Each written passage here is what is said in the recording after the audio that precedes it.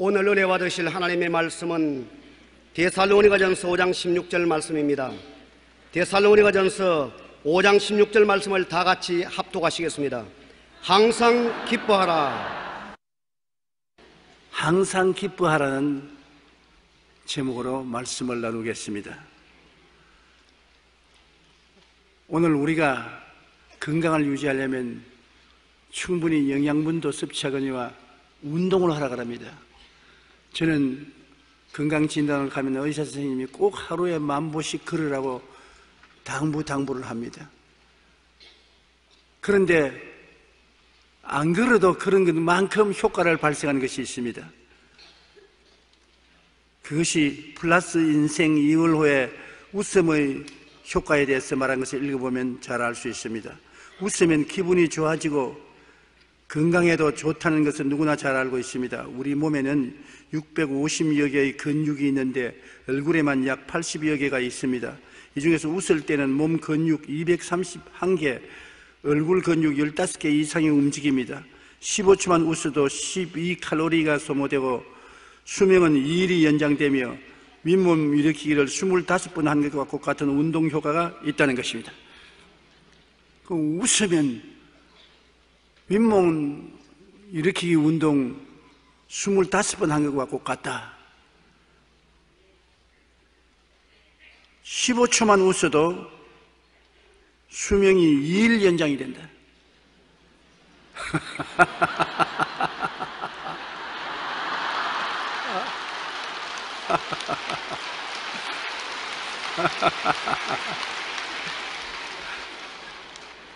벌써 수명이 많이 연장되었어요. 참 놀라운 일입니다. 그래서 웃음 치료사들은 웃음은 운동이라고 말합니다. 사치스러운 것이 아니라 실제 운동이다. 전문가들은 웃을 때 세 가지 원칙을 지키는 것이 더욱 효과적이라고 말합니다. 첫째, 크게 웃어라. 비시시 웃지 말고. 둘째, 숨을 내쉬는 날숨으로 10초 이상 웃어라. 셋째, 배가 아프도록 숨이 끊어질 듯 박장대소하라. 성경에도 항상 기뻐하라고 말씀하셨습니다. 우리가 말씀대로 항상 기뻐하며 웃을 때 몸과 마음의 건강뿐만 아니라 생활의 즐거움이 넘쳐 행복을 누릴 수가 있습니다. 그러므로 우리가 하나님 할렐루야 하하하하 아주 좋습니다. 한번 해볼까요? 제가 할까 하나님 할렐루야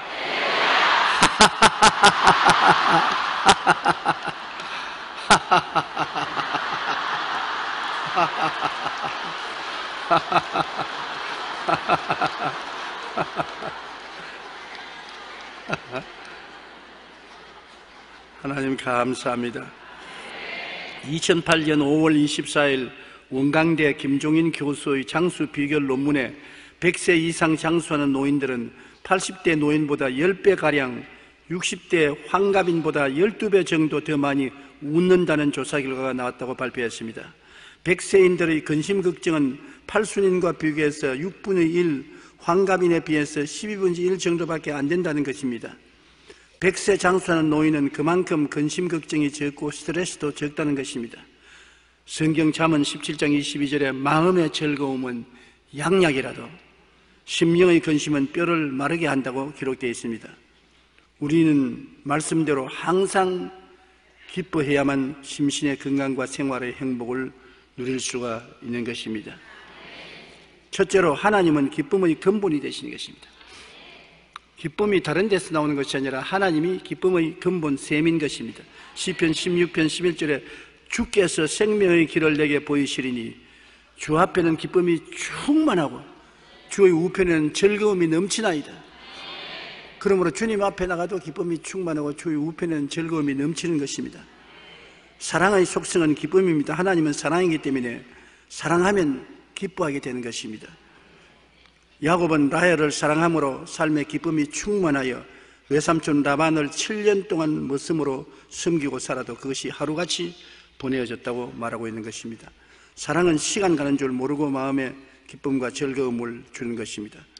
천국 사람이라는 별명을 가진 조지 피더 교수는 언제나 밝고 즐겁게 생활했습니다. 하루는 학생 중 한 명이 그에게 물었습니다. 교수님, 어떻게 늘 기쁘고 즐겁습니까? 그는 이렇게 말했습니다.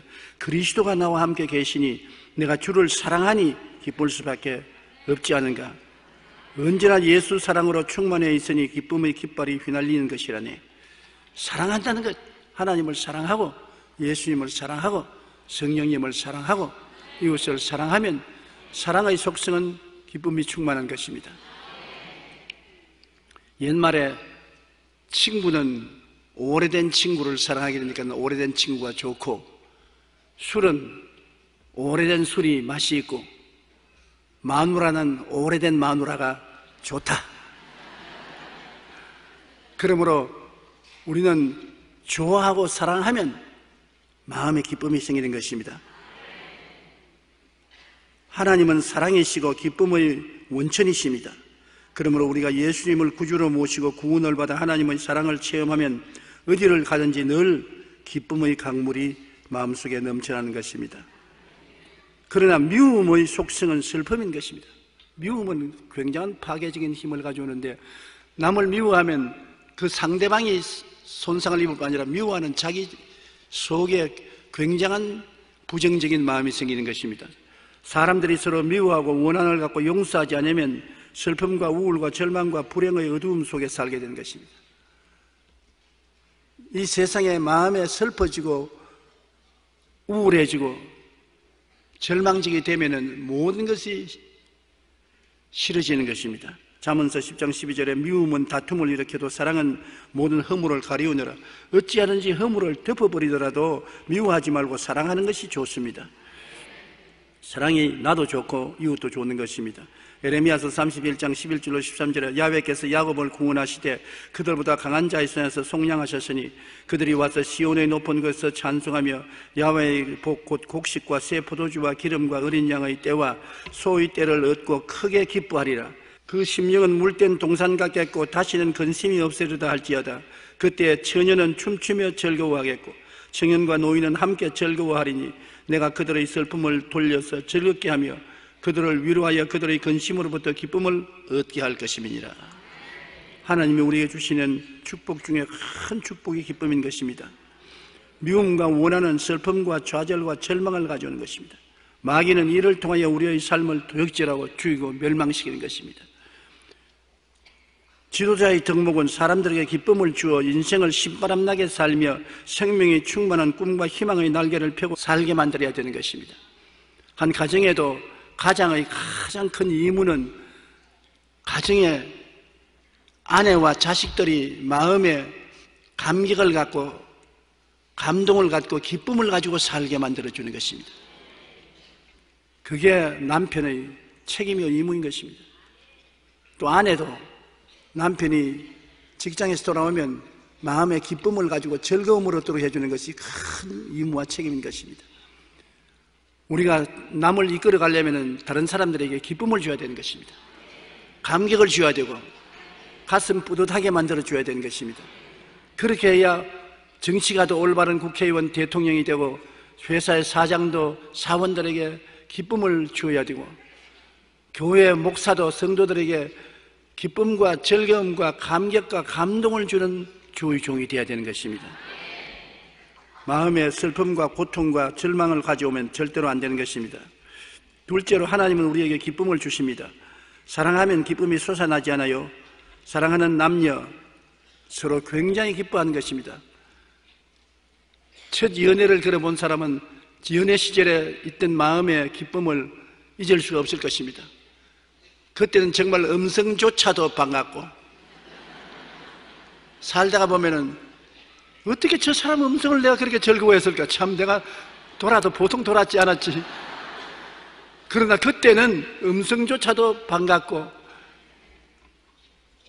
모자란 인격조차도 곱게 보이고 못난 것도 잘나 보이고 사랑은 그렇게 사람을 기쁘게 만들고 마음을 즐겁게 만들어주는 것입니다. 우리가 부모 자식 간에 서로 사랑하면 기쁨이 넘치라는 것입니다. 자식들이 부모를 사랑하면 부모를 만나면 굉장히 기뻐하지요. 부모가 자식들 있으면 너무 기뻐하는 것은 부모와 자식이 사랑하기 때문인 것입니다. 좋은 친구 참 좋지요. 좋은 친구는 음성을 들어도 좋고 서로 만나서 차라도 한 잔 마시고 대화를 하면 정말 부담이 되지 않고 즐겁습니다. 그렇기 때문에 오래된 친구가 좋다는 것은 산전수전 다 겪은 오랜 친구, 절대로 배반하지 않은 서로 허물을 덮어주고 끌어주는 친구, 그런 친구가 있다는 것은 굉장한 인생을 행복하게 만드는 조건이 되는 것입니다.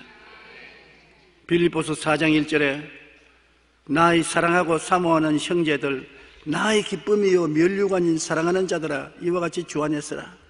바울 선생은 교회 성도들을 사모하는 형제들, 나의 기쁨이요 나의 면류관인 사랑하는 자들이라고 말하는 것입니다. 대사로가 전서 2장 20절에 너희는 우리의 영광이요 기쁨이니라. 우리의 영광이요 기쁨이다. 이 사도 바울 선생의 심정을 저는 요사이 절실히 느끼게 됩니다. 나이를 점점 먹게 되고 또 힘이 없어지면 강단에 서지 못할지도 모르는 내 내일이라는 것을 스스로 알고 있지만은 우리 성도들만 생각하면 마음이 기뻐지는 것입니다. 성도들이 그렇게 사랑스러울 수 없어요. 젊은 목사할 때는 철이 없어서 성도들 머리 수만 헤아렸는데 이제는 그렇지가 않아요. 우리 성도들을 보면은 그렇게 사랑스럽고 처근하다고 왜 그런지 잘 사는 성도들도 봐도 처근하고 못 사는 성도들 봐도 처근하고 안아주고 싶고 두들겨주고 싶은 마음이 생깁니다. 막 철이 들어가는가 봅니다.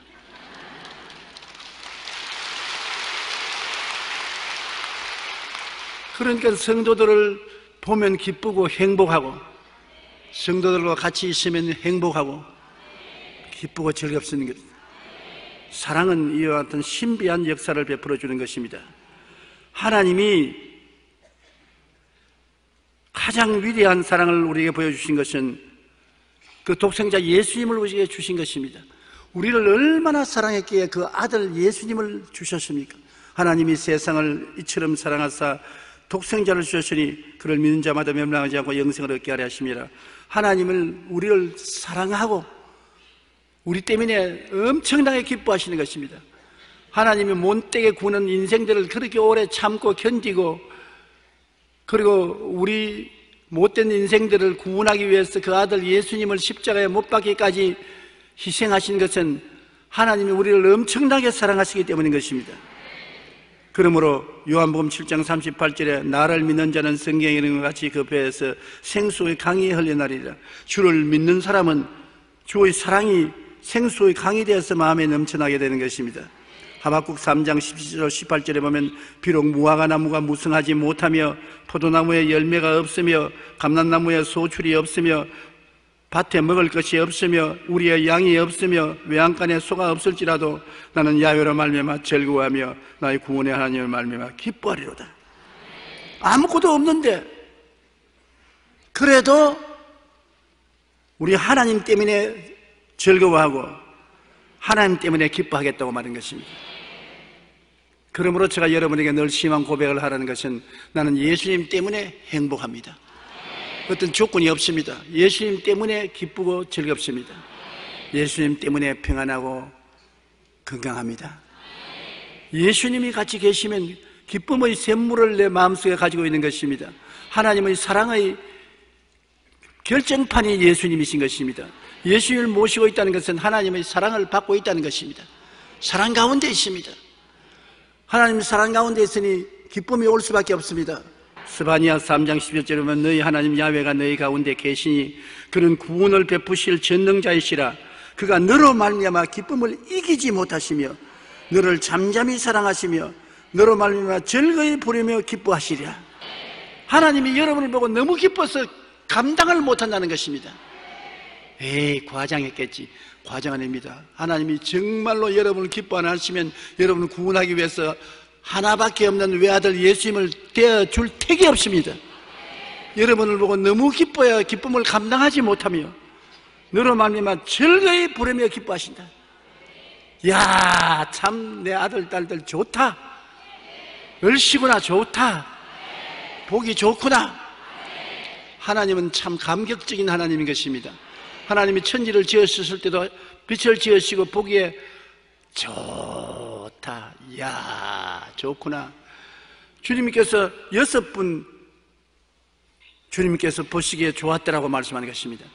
하나님이 그냥 보기에 뭐 좋았더라 뭐. 그래합니다. 야, 좋네. 정말 아름답다. 좋다. 감격을 가지고 있었습니다. 여러분, 우리도 대화에 감격을 가져야 되는 것입니다. 야, 당신 정말 아름답구나. 정말 이쁘네. 옷이 참 몸에 좋다. 당신 곁에 있으면 즐겁다. 이 말이 얼마나 큰 사랑을 표시하고 용기와 힘을 주지 않습니까? 그러므로 우리 하나님께서 우리를 보고 기쁨을 이기지 못한 같이 우리도 그런 감격 속에 살아야 되는 것입니다. 예수님은 십자가에서 우리에게 슬픔을 주는 모든 부정적인 세력을 멸하시고 하나님의 은혜와 사랑을 부어주셨습니다. 슬픔을 갖다 주는 죄도, 허물도, 질병도, 저주와 낭패와 실망과 고통도, 죽음도, 멸망도 십자가에서 다 몸짓고 피 흘려 청산하고 내가 다 이루었다 갚아버리고 말한 것입니다. 그러고 난 다음 주님께서는 수고하고 무거운 짐진 자들은 다 내게로 오라. 내가 너를 편히 쉬게 하겠다고 말씀하시는 것입니다. 히브리서 12장 2절에 믿음의 주여 또 온전케 하시는 예수를 바라보자. 그는 그 앞에 있는 기쁨을 위하여 십자가를 참으사 부끄러움을 개의치 아니하시더니 하나님 보좌 우편에 앉으셨느니라. 기쁨을 위하여 여러분과 나가 구원받아 하나님 앞에 서는 것을 기쁨으로 생각하고 온갖 십자가의 모욕을 참고 견뎌서 다 이루시고 하나님 보좌 우편에 앉으신 것입니다. 요한복음 16장 33절 이것을 너에게 이르는 것은 너희로 내 안에서 평안을 누리게 하려 함이라. 세상에서 너희가 환란을 당하나 담대하라. 내가 세상을 이기었노라. 십자가에서 예수님이 우리를 위해서 이겨주신 것입니다. 그리고 하나님이 우리에게 주시는 성령은 기쁨의 영인 것입니다. 성령이 오시면 마음의 기쁨이 충만해지는 것입니다. 그리고 우리 성령 받은 사람은 성령의 했을 다른 방언으로 말하잖아요. 방언은 기쁨의 펌프인 것입니다. 물이 필요할 때 옛날에는 펌프를 해서 물을 확 나오는 것처럼 성령 충만해서 방언으로 기도하는 것은 우리 속에 있는 기쁨을 펌프질 해야 되는 것입니다. 이사야 28장 9절로 12절에 보면 그들의 이르기를 그가 누구에게 지식을 가르치며 누구에게 도를 전하여 깨닫게 하려는가? 젖들어져 품을 뜨는 자들에게 하려는가? 대저 경계에 경계를 더하며 경계에 경계를 더하며 교훈에 교훈을 더하며 교훈에 교훈을 더하되 여기시도 조금 저기시도 조금 하는구나. 이것은 형식적이고 일반적인 교회를 말하는 것입니다. 교인들 갖다 놓고 늘 교훈에 교훈을 더하고 경계에 경계를 더하고 여기시도 조금 저기시도 조금 교훈을 더하니까 교인들이 교회에 와서 위로를 받지 못해요. 교회 와서 늘 얻어맞고 꾸중을 듣고 기가 다 죽어서 시들어진 나무 잎사귀 같이 어깨가 늘어져 가지고 집으로 돌아갑니다. 주여 나는 어찌할까요? 하나님께서 그것을 싫어하시는 것입니다. 교인들이 교회에 와서 기쁨이 넘치고 즐거움이 넘치기를 원하시는 것입니다. 할렐루야를 호함치고 박수를 치고 희망차게 예배를 드리고 나가기를 원하신 것입니다. 그래서 성경은 말하기를 그러므로 들으는 이술과 다른 방언으로 그가 이 백성에게 말씀하시리라. 전에 그들에게 이르시기를 이것이 너희 안식이요 이것이 너희 상쾌함이니 너희는 곤비한 자에게 안식을 주라 하였으나 그들이 듣지 아니하므로 안 된다는 것입니다. 성령 받고 방언으로 기도하라. 이것이 너희 안식이요 이것이 너희 상쾌함이다. 마음이 평안하지 않을 때 방언 기도하라. 슬픔이 있을 때 방언으로 기도하라. 그러면 안식이 오고 상쾌함이 온다. 저는 슬플 때 방언으로 기도를 많이 합니다. 마음이 슬퍼 마땅히 기도할 바를 알지 못하고 답답할 때 주님 앞에 주여 하고 난 다음 방언으로 기도하면 나도 모르는 사이에 눈물을 흘리면서도 무슨 말로 기도한지 모르지만은 성령께서 알아서 기도해 주시는 것이기 때문에 성령으로 기도하면 슬픔이 기쁨으로 변화되는 것입니다. 큰 위로가 되는 것입니다. 즐거움이 없이 마음이 답답할 때도 방언으로 기도하고 나면 답답함이 사라지고 상쾌함이 다가오는 것입니다. 그러므로 방언 기도 왜 하냐? 알지도 못한 방언을 모르는 소리입니다. 하나님께서는 우리 성도들에게 안식과 평안을 주시기 위한 펌프로서 방언을 주신 것입니다. 그러므로 방언을 많이 하십시오. 그러면 여러분 평안해지고 기쁨의 안식을 얻게 되는 것입니다. 사람들은 하나님이 주신 이 교훈을 듣지 않고 안식을 누리지 못하고 있는 것을 볼 때 답답하게 말로 다 할 수 없습니다.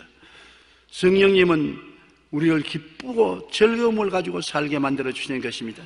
요한복음 16장 20절로 24절에 내가 진실로 진실로 너에게 이르노니 너희는 고하고 애통하겠으나 세상은 기뻐하리라 너희 근심은 하겠으나 너희 근심이 도리어 기쁨이 되리라 여자가 해산하게 되면 그 때가 이르며 근심하나 아기를 낳으면 세상 사람 난 것으로 기쁨으로 말미암아 그 고통을 다 기억하지 아니하느니라. 지금은 너희가 근심하나 내가 다시 너희를 보리니 너희 마음이 기쁠 것이라. 너희 기쁨을 빼앗을 자가 없으리라. 그날에 너희가 아무것도 내게 묻지 아니하리라. 내가 진실로 진실로 너희에게 이르노니 너희가 무엇이든지 아버지께 구하는 것을 내 이름으로 주시리라.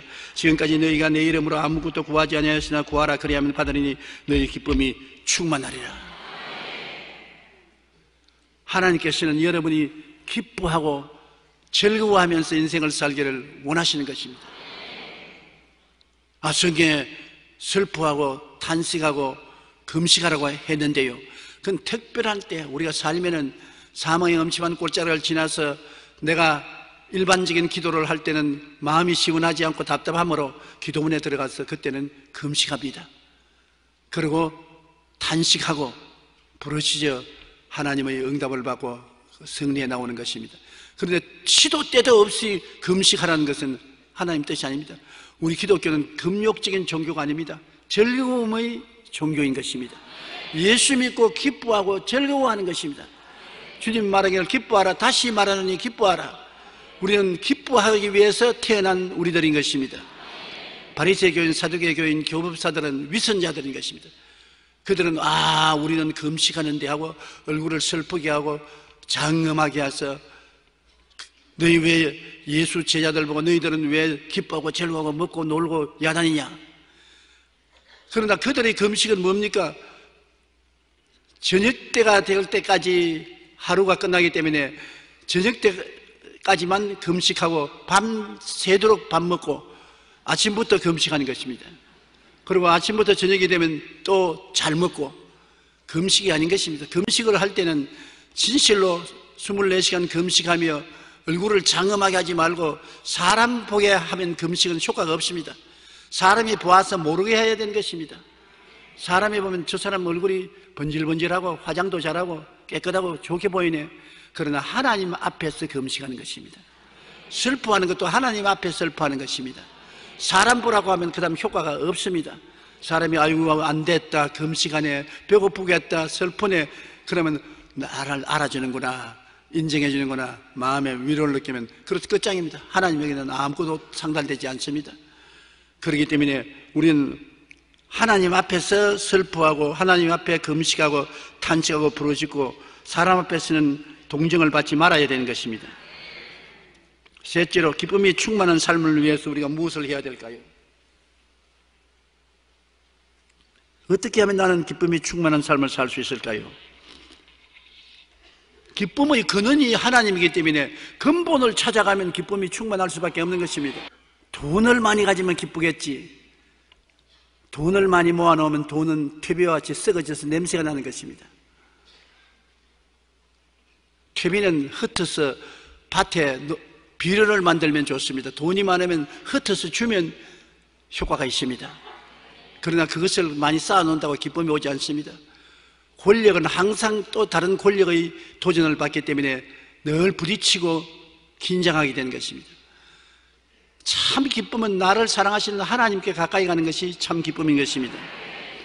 기도하고 찬송하고 성경 읽고 예배를 통하여 하나님을 기뻐하면 하나님이 우리 마음의 소원을 이루어 주시는 것입니다.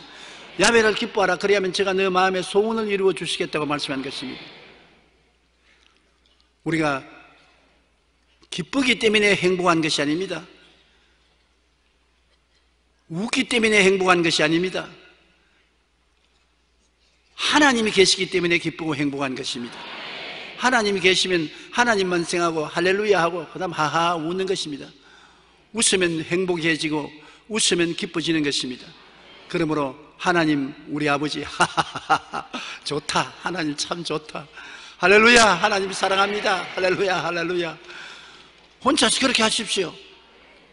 저는 집에서 좌우를 살펴보고 우리 집 사람도 없고 애들 없을 때 빨리 웃습니다. 혹시 또 아버지 미쳤다 그럴까 싶어가지고 아직까지 좀 체면을 차린다고 도둑 웃음을 웃지만은 웃고 나면 마음이 시원하고 상쾌하고 정말 즐겁습는 것입니다. 에레미야 15장 16절에 망군의 하나님 야외시여 나는 주의 이름을 일컬음을 받는 자라 내가 주의 말씀을 얻어먹었사오니 주의 말씀은 내게 기쁨과 내 마음의 즐거움입니다.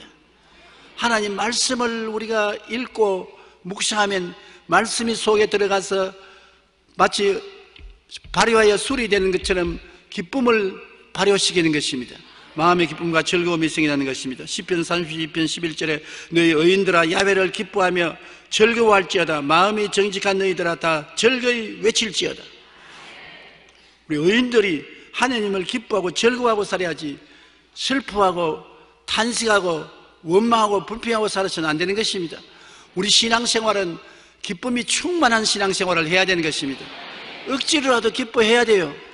기뻐하라는 것은 기분 좋을 때만 기뻐하라 말하는 것입니다. 기뻐하는 것은 명령인 것입니다. 항상 기뻐하라. 명령인 것입니다. 쉬지 말고 기도하라. 범사에 감사하라. 우리가 기쁨을 늘 강제로라도 해야 하나님께서 기뻐하시는 것입니다.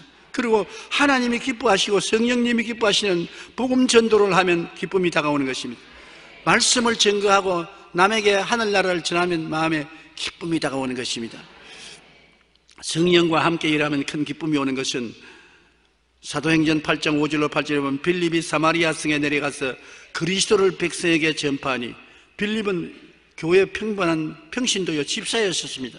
우리가 빌립의 말도 듣고 행하는 표적도 보고 한 마음으로 그가 하는 말을 따르더라. 많은 사람에게 붙었던 더러운 귀신들이 크게 소리를 지르며 나가고 또 많은 중풍병자와 못 걷는 사람이 나으니 그 성에 큰 기쁨이 있더라. 복음 증거는 예수님을 믿고 구원받아 하나님의 은혜를 입을 뿐 아니라 결과적으로 큰 기쁨이 따라오는 것입니다. 복음이 있는 곳에 기쁨이 함께 있는 것입니다. 기쁨이란 복음의 향기인 것입니다. 복음이 전파되는 곳에 기쁨의 향기가 나야 되는 것입니다. 꽃이 있어도 진짜 꽃은 향기가 나는 것입니다. 가짜 꽃은 향기가 나지 않지 않습니까? 바울과 신라가 복음을 전할 때 빌립보 간수가 복음을 듣고 구원받고 크게 기뻐했습니다. 사도행전 6, 16장 34절에 그들을 데리고 자기 집에 올라가서 음식을 차려주고 그와 온 집안이 하나님을 믿음으로 크게 기뻐하더라.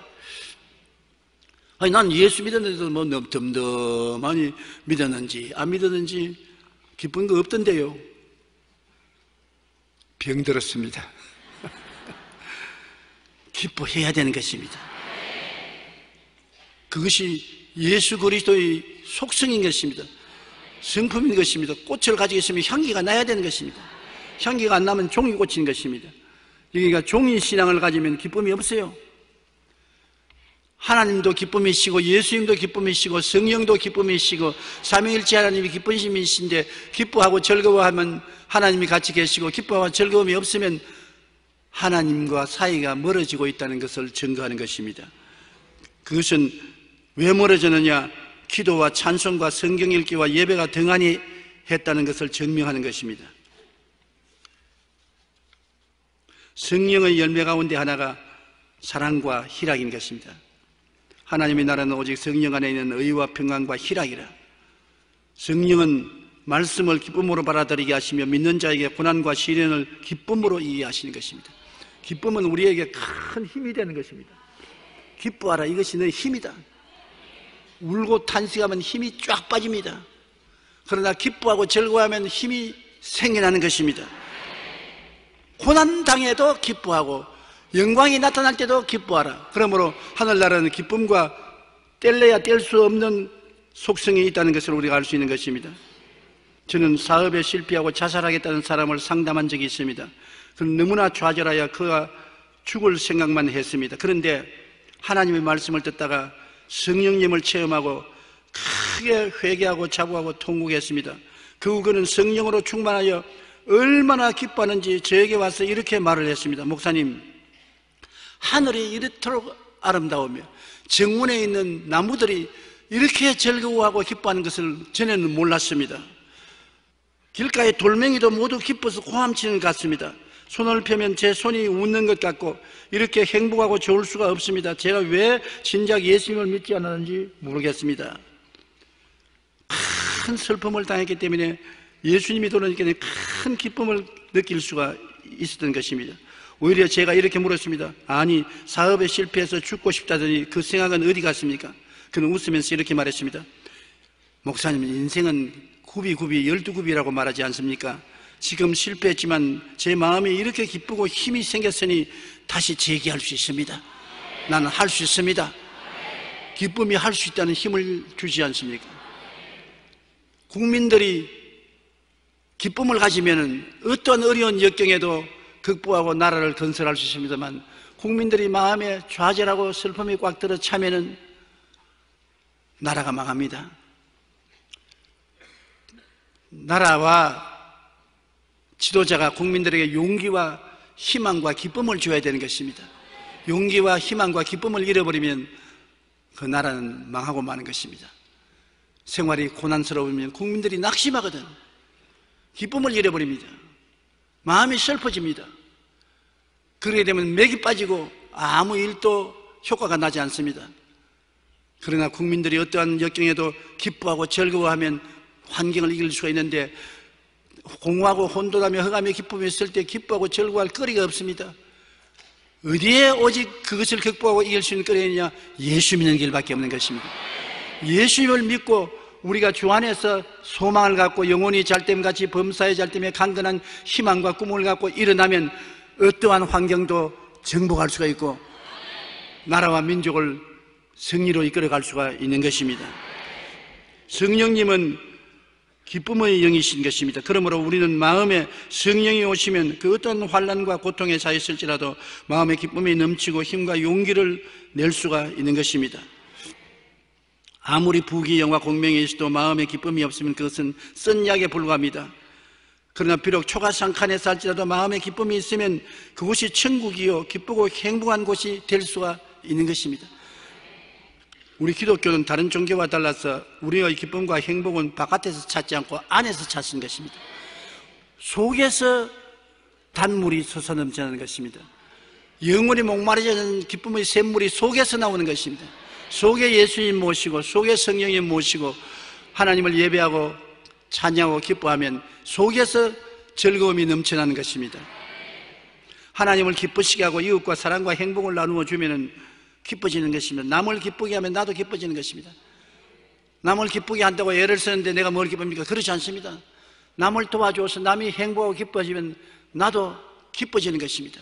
가정도 한 가지입니다. 남편이 부인과 자식들을 기쁘게 해주면 자기가 기뻐지는 것입니다. 모든 사람이 허물이 있는데 허물을 예수 그리스도의 사랑으로 덮고 용서하고 사랑을 하면 사랑이 돌아오는 것입니다.